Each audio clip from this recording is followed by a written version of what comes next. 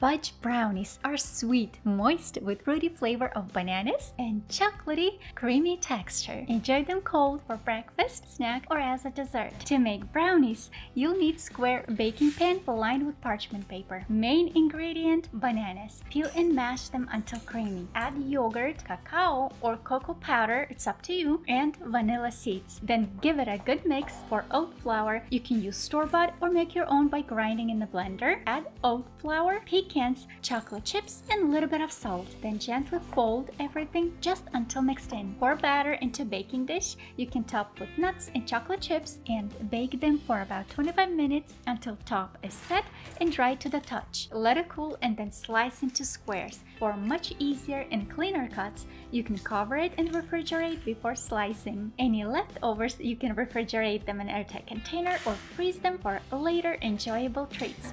Enjoy this recipe and I'll see you next time. Bye!